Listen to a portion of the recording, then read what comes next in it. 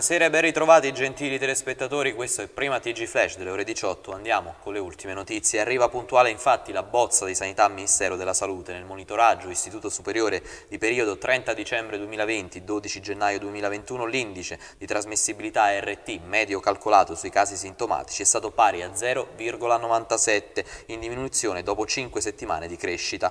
Si osserva una diminuzione del rischio di un'epidemia non controllata e non gestibile nel Paese dovuta principalmente ad una diminuzione diminuzione della probabilità di trasmissione del Covid-19, ma in un contesto in cui l'impatto sui servizi assistenziali rimane alto nella maggior parte delle regioni. Complessivamente sono quattro le regioni con classificazione di rischio alto, 11 con rischio moderato e 6 regioni con rischio basso. Due regioni, Sicilia e Puglia, hanno un RT puntuale maggiore di 1, anche nel limite inferiore, compatibile quindi con uno scenario di tipo 2, le altre con un RT puntuale compatibili con uno scenario invece di tipo 1. Una regione, Umbria, è una provincia autonoma, quella di Bolzano, sono state invece classificate come rischio alto per la terza settimana consecutiva. Questo prevede specifiche misure da adottare a livello provinciale e regionale. Sono 12 le regioni che hanno un tasso di occupazione in terapia intensiva e o aree mediche sopra la soglia critica, stesso numero della settimana precedente. Il tasso di occupazione in terapia intensiva a livello invece nazionale è sceso sotto la soglia critica del 30%. L'epidemia resta in una fase delicata, si legge nella bozza del monitoraggio, ed un nuovo rapido aumento del numero di casi nelle prossime settimane è ancora possibile qualora non venissero mantenute rigorosamente misure di mitigazione sia a livello nazionale che a livello regionale. Prosegue intanto il caos vaccini in Italia con i ritardi reiterati nella consegna del secondo lotto Pfizer in tutte le regioni. Nel bollettino odierno sono oltre 1.293.941 le dosi di vaccino contro il Covid-19 finora somministrate in Italia, l'83% delle totali delle dosi disponibili pari a 1.558.635 unità. La somministrazione ha riguardato finora 814.678 donne e 479.260 63 uomini. Le persone che hanno ricevuto anche la seconda dose e quindi pienamente vaccinate sono ora 29.742. Le dosi sono state somministrate a 783.640 operatori sanitari, 391.002 unità di personale non sanitario e 108.542 ospiti di strutture residenziali. Infine sono 10.757 gli over 80 ad aver ricevuto il vaccino. Nella sezione distribuzioni vaccino per forniture il totale dei vaccini distribuiti comprende 1.511.835 di Pfizer-BioNTech e 46.900 di Moderna.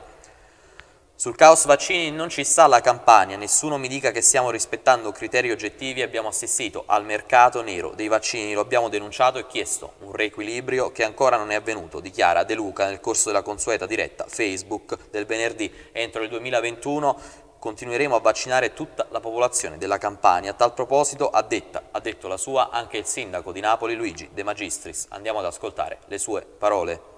Ieri abbiamo fatto un incontro molto proficuo con alcuni sindaci delle città metropolitane, siamo stati a lungo con lui, devo dire in maniera puntuale ci ha descritto il piano, il piano che riguarda il paese, le città, il ruolo dei sindaci, è un piano che è molto condizionato dalla capacità dei produttori, non solo Pfizer, ma anche gli altri che devono arrivare di rispettare gli impegni che sono presi.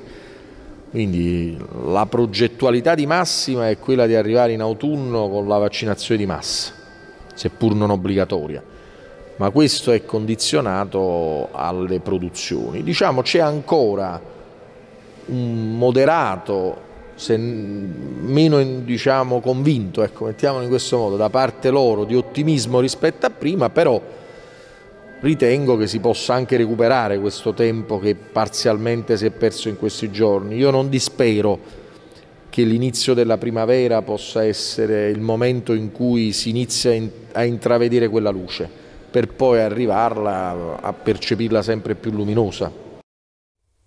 Il TAR della Campania si è pronunciato annunciato e come era già scritto, ha accolto il ricorso presentato da alcuni genitori contro l'ordinanza della Regione Campania e ha deciso con un provvedimento cautelare la riapertura delle scuole superiori con modalità integrata. Dal prossimo primo febbraio la Regione Campania dovrà ora confermarsi a quanto prescritto nel citato DPCM per le scuole secondarie superiori previa ricognizione degli atti attuativi e proattivi necessari a rendere effettiva la didattica in presenza nei limiti quantitativi, nei limiti minimi e nei limiti massimi prescritti dalla legge. Il rientro in classe dovrà avvenire entro il primo febbraio per consentire di adottare tutte le misure ed anche in ragione dello stato avanzato dell'anno scolastico in corso, ormai alle soglie del secondo quadrimestre e dunque consumato per circa metà. C'è anche la possibilità di anticipare, ove le condizioni locali lo consentissero, il rientro in presenza, in presenza del contingente di studenti individuato dai strumenti specifici.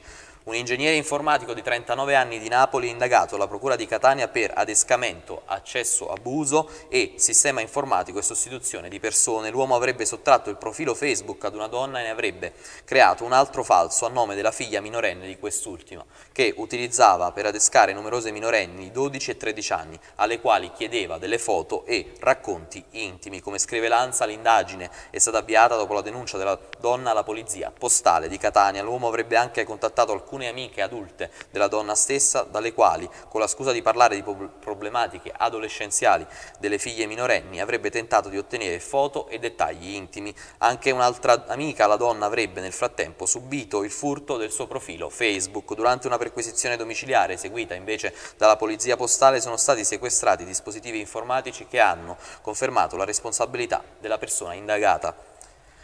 Effettuata nei comuni di Palma, Campania e Cancello Ernone un'operazione di controllo straordinario interforze contro lo smaltimento illecito e i roghi di rifiuti industriali, artigianali e commerciali. Sono entrati in azione 24 equipaggi per un totale di 63 unità interforze che tra le altre attività hanno presidiato con posti di blocco mobili le vie di accesso alle località o ai siti in cui abitualmente vengono abbandonati e quindi conferiti in modo illecito i rifiuti sul territorio controllando 7 attività imprenditoriali e altrettante commerciali di cui 4 sequestrati sequestrate 55 persone identificate, di cui 4 denunciate tra lavoratori irregolari e rei di illeciti ambientali e 22 di queste anche sanzionate, 70 veicoli sono stati controllati, di cui 62 sequestrati tra barche e autocarri, eh, e autocompattatori, circa 48.410 invece metri, metri, quadri di aree sono stati sequestrati, circa invece 1.000 tonnellate di rifiuti non speciali non pericolosi e centinaia di pneumatici fuori uso sequestrati ed oltre 22.063 eh, euro di sanzioni comminate. L'ASL di Caserta ha diramato il consueto bollettino di aggiornamento coronavirus. Sul nostro territorio nella giornata del 22 gennaio si certificano infatti 104 nuovi casi positivi a cui si aggiungono 8 deceduti e 294 persone guarite. I tamponi processati sono stati 1748 con un tasso di positività del 5,9% in discesa rispetto alle giornate precedenti. Maddaloni è la città della provincia con il maggior numero di positivi, cioè 280, seguita da Mondragone con 180 188 e Caserta con 171.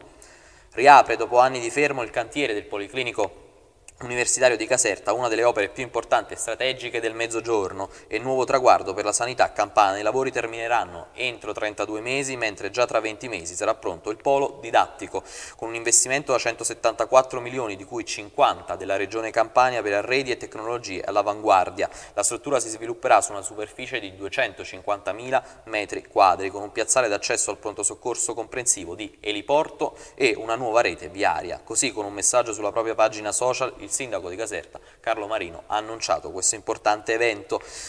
Arek Milik è ufficialmente invece un giocatore dell'Olympique Marsiglia, ha risolto la querel col Napoli cedendo il giocatore a titolo temporaneo con un prestito con obbligo di riscatto alla società francese. L'attaccante è apparso subito molto sorridente, ha pubblicato le foto dei video sui suoi canali social, ha subito commentato con entusiasmo il suo approdo al Marsiglia. Il calciatore polacco ha scelto la maglia numero 19 per la sua nuova avventura. Queste le prime parole. Sono felice ed orgoglioso di annunciare il mio passaggio al Marsiglia ufficialmente, uno dei più prestigiosi club europei, io sono pronto per questa nuova avventura e mi sento bene. Per questa edizione di Prima TG Flash è tutto, appuntamento tra qualche ora sempre sui nostri canali, un caloroso arrivederci.